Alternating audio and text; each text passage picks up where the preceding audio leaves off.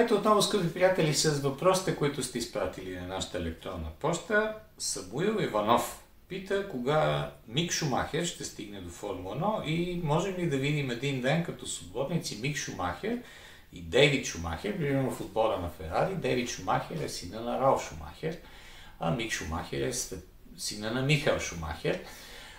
Кога ще стигне Миг до Формула 1? Е, трудно ми е да кажа. Аз си мисля, че наистина момчето показа добър талант, добри възможности през миналата година. Аз имах възможност да гледам няколко от състезанията му на живо на пистите, на които бяхме. Много така концентрирах просто а, погледа си върху това, което той прави. И а, честно казано, моето мнение е, че той е добър, но много, много далеч от това, което беше баща му. И това в огромна степен се дължи и на факта, че амбицията, погледа към нещата е съвсем различен. Каквото и да си говорим, Михал беше изтъкан от желание да успее, така както беше Сена, така както бяха една най-малка част от останалите пилоти в историята на спорта, достигнали до, до самия връх.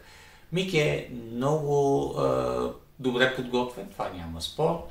А, около себе си има изключително важни, силни, влиятелни хора, които ще му помогнат. Вероятно ще стигне до Формула 1. Не знам дали ще успеят да, да достигне до отбора на Ферари.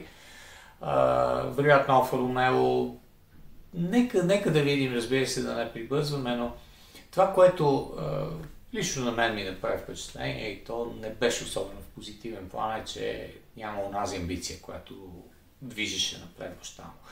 Що се отнася до Дейвид Шумахер, не знам неговите така, качества, не бих могъл да ги оценя. Все още той върви още стъпка назад в развитието си. да, би било чудесно един ден да ги видим двамата в някои от, от големите отбори.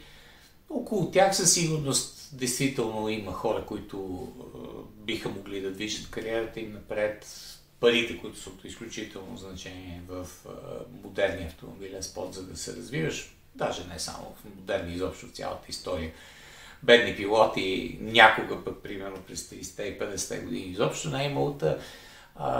Мисълта ми е, че не можем да прогнозираме с абсолютна сигурност, че двамата ще стигнат изобщо до Формула, но ще се състезават някога в един отбор. Вероятно, ако като братя Фитипал да си направят някакъв отбор, макар че модерната Формула 1, също сега при промените, които ще настъпят, може и да стане възможен един такъв тим.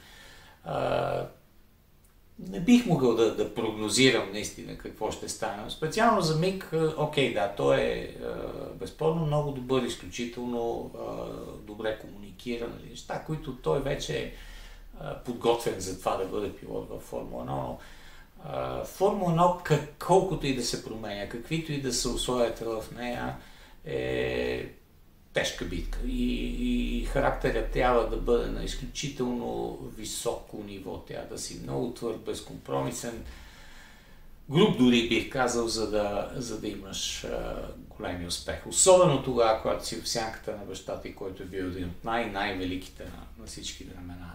Няма да му е никак лесно. Благодаря за въпроса. Ще бъдем отново заедно съвсем скоро.